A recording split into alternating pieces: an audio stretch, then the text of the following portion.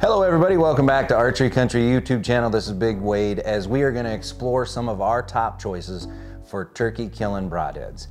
As unlike your big game broadheads where we really worry about penetration and huge wound channels, the only thing we want to take from that in the turkey woods is huge wound channels. We don't want to send that broadhead through the bird. We want to stick it in and let it go to work.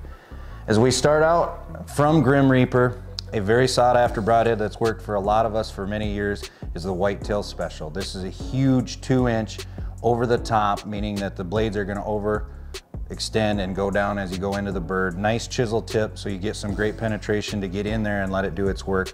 Uh, very, very sharp razor edged bone blades that are gonna do wreak havoc on any kind of bird that you shoot, rather front or a broadside shot or reverse shot.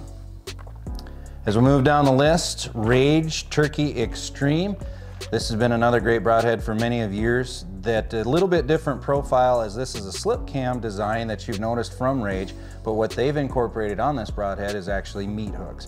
So when this, this enters the body cavity, it'll actually grab and stop from penetrating all the way through, which is gonna tear and lacerate and do a lot of damage and let the blades follow behind it. So I move down the list, another huge opening broadhead is from G5 called the Mega Meat. This is another two inch cut, uh, stainless steel, super sharp blades. So when we have to cut through that feather and the matter and get into that body cavity, again, you're trying to hit a softball size vital area. So having two inches of play is gonna be pretty cool for you. This also comes with a practice broadhead that flies very similar. A lot of our shots on turkeys are gonna be under that 25 yard range. So you really don't have to do a lot with tuning on there, but it's always a good idea to practice. And this does come with a practice broadhead.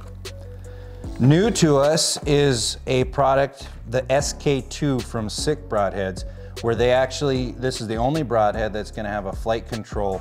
So it's gonna be very compact and fly. It has a huge, massive chisel tip. So it's gonna break any bone going on into it, wing bone or body cavity to set it in there. And then a very, very huge two blade system that uh, depending on your spin of your arrow is gonna do a lot for you and this is a 100 grain. All of these are gonna be 100 grain products. This is the SK2 rear deploy, and it's actually 3.62 inches of total cut once it's opened up. And last but not least, the four that we have already looked at are our shots that you are gonna use probably on a body shot. You can take a headshot with these, but they're, they're mainly on your body shot. Kind of a new phenomenon is the head chopper style. It's been around here probably four or five years. And a new product from SWAT Broadheads is called the Chopper.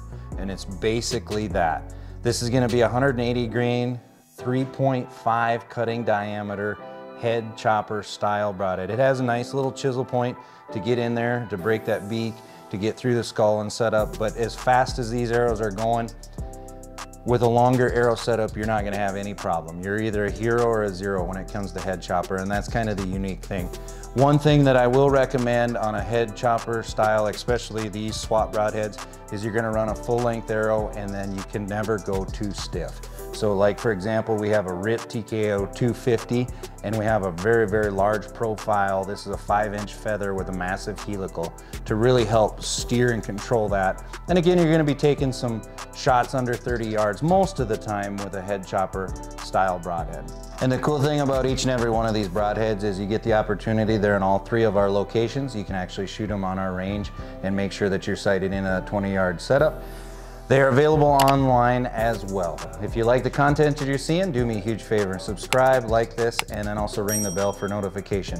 Thank you for watching Archery Country YouTube.